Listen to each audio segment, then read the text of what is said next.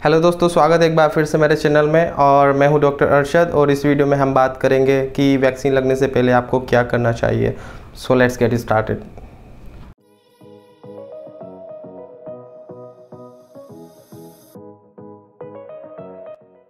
तो अगर आपके अभी तक वैक्सीन नहीं लगी है और आपका जल्दी वैक्सीन लगवाने का प्लान है तो ये वीडियो आपके लिए बहुत इंपॉर्टेंट होने वाली है। तो इस वीडियो में मैं ऐसे चार पॉइंट के बारे में बात करूँगा जिनका आपको जानना और करना बहुत ज़रूरी है। सो so, शुरू करते हैं। Number one know the side effects आपको पता होना चाहिए कि वैक्सीन के कौन से साइड इफ़ेक्ट नॉर्मल हैं कौन से साइड इफ़ेक्ट्स नॉर्मल नहीं है जिससे आपको कोई परेशानी नहीं हो। बहुत सारे लोगों को मैं देख रहा हूँ वैक्सीन लगने के बाद परेशान हो रहे हैं कि उनको फीवर आ रहा है या और कुछ परेशानी हो रही है। तो आपका साइड इफ़ेक्ट्स को जानना बहुत ज़रूरी है।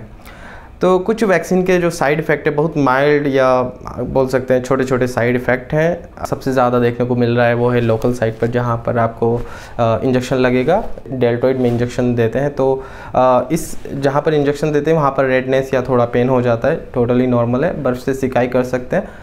काफ़ी होगा। दूसरा वैक्सीन का साइड इफ़ेक्ट है माइल्ड फीवर विद चिल्स तो चिल्स थोड़ी कप कपी लग सकती है ठंड लग सकती है और हल्का फीवर हो सकता है। याद रखें फीवर आ, हमेशा लो ग्रेड होता है वैक्सीन का और दो से या तीन दिन में ठीक हो जाता है। तो अगर फीवर आपका हाई ग्रेड है बहुत ज़्यादा फीवर है हंड्रेड टू या उससे ज़्यादा फीवर है और फीवर तीन से चार दिन पाँच दिन हो गए फीवर को तो तब आपको थोड़ा कंसर्न करने की ज़रूरत है। क्योंकि अभी आपको वैक्सीन लगी अभी आप प्रोटेक्टेड तो हो नहीं। वैक्सीन को आ, काम करने में भी टाइम लगता है। तो इस टाइम में भी कोविड हो सकता है। तो कहीं ऐसा नहीं हो कि कोविड के सिम्टम्स आप वैक्सीन के साइड इफ़ेक्ट समझ के इग्नोर कर दें। तो वैक्सीन का फीवर लो ग्रेड होता है। दो से तीन दिन में ठीक हो जाता है। और कुछ साइड इफ़ेक्ट हैं जिससे हेडक हो सकती है। बॉडी एक हो सकता है। जॉइंट पेन मसल्स पेन ये सब भी आपको देखने को मिल सकता है। और साथ ही आपको थोड़ी थकावट महसूस हो सकती है तो कोई घबराने की बात नहीं it's totally normal after getting the vaccine number two prepare your things तो कुछ चीज़ें हैं जो कि आपको वैक्सीनेशन सेंटर जाने से पहले प्रिपेयर करनी चाहिए। जैसे कि एक अच्छा सा मास्क आपका मास्क कुछ ऐसा हो तो बेटर होगा। Something like that this is an ninety five mask so अगर ऐसा नहीं हो तो सर्जिकल मास्क भी चल सकता है कुछ ऐसा। बट मेक श्योर कि आपके मास्क में वायर ज़रूर हो आ, ये वायर जो कि मास्क के ऊपर होती है। ये बहुत ज़रूरी है क्योंकि ये नाक के ऊपर मास्क को एक ऐसी शेप दे देती है जिससे कि एयर पास नहीं होती नाक के आसपास से। तो इस वायर का होना बहुत ज़रूरी है। कपड़े का मास्क ना ही यूज़ करें तो अच्छा होगा लेकिन अगर यूज़ करना है तो उसके साथ सर्जिकल मास्क आप ऐड कर सकते हैं तो आ, तब भी ज़्यादा अच्छे से काम कर सकते हैं दोनों मास्क फिर आप अपने साथ हैंड सैनिटाइज़र रखें, क्योंकि आप एक पब्लिक प्लेस में जा रहे हैं जहाँ पर बहुत सारे लोग आने वाले हैं तो आप इधर उधर सरफेस टच करेंगे तो बेटर होगा कि आप अपने साथ हैंड सैनिटाइज़र रख लें और अपने हाथ सैनिटाइज करते रहें। वियर लूज़ और शॉर्ट स्लीव्स क्योंकि आपको जो वैक्सीन देंगे वो डेल्टोइड मसल्स में दी जाएगी। तो कुछ ऐसे कपड़े पहने जिनकी स्लीव आसानी से रोल अप की जा सके। तीसरा पॉइंट है eat well and stay hydrated तो वैक्सीनेशन से पहले आपको हेल्दी फ़ूड लेना बहुत ज़रूरी है। तो मान लिया कल आपका वैक्सीनेशन की अपॉइंटमेंट है तो आज रात से ही आप हेल्दी मील लें। वैसे तो आपको डेली खाना चाहिए लेकिन इस रात का डिनर आप मिस ना करें और हेल्दी होना चाहिए। ज़्यादा ऑयली जंक फ़ूड या फ्राइड फ़ूड ना लें। तो आपका मील में ज़्यादा से ज़्यादा फाइबर्स विटामिन्स और आ, सारे न्यूट्रिशंस हों तो बहुत अच्छा रहेगा। वैक्सीन को काम करने में आसानी होगी अगले दिन। और साथ ही ज़्यादा से ज़्यादा पानी पिए हाइड्रेटेड रहें ब्रेकफास्ट करके जाएँ। ब्रेकफास्ट भी आपका कुछ ऑयली या कुछ ऐसा अनहेल्दी ना लें। शुगर अवॉइड करें जितना ज़्यादा हो सके क्योंकि शुगर इन्फ्लामेशन को बढ़ाती है।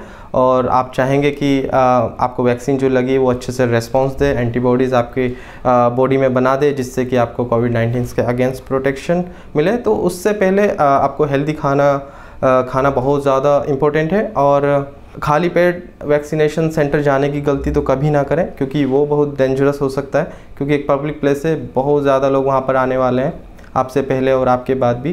तो जब आप खाली पेट होते हैं तो आपकी इम्यूनिटी बहुत ज़्यादा वीक होती है और उस टाइम पर इन्फेक्शन होने के चांसेस बहुत ज़्यादा होते हैं। तो खाली पेट वैक्सीनेशन सेंटर कभी नहीं जाएँ।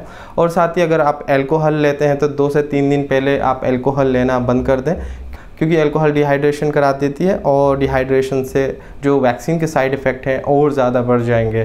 तो बेहतर होगा आप दो से तीन दिन पहले अल्कोहल लेना बंद कर दें। And of course don't forget to avoid the smoking fourth and last point है cancel your vaccination appointment yes मान लिया आप एकदम हेल्दी हैं और आपने वैक्सीन के अपॉइंटमेंट बुक कर लिए।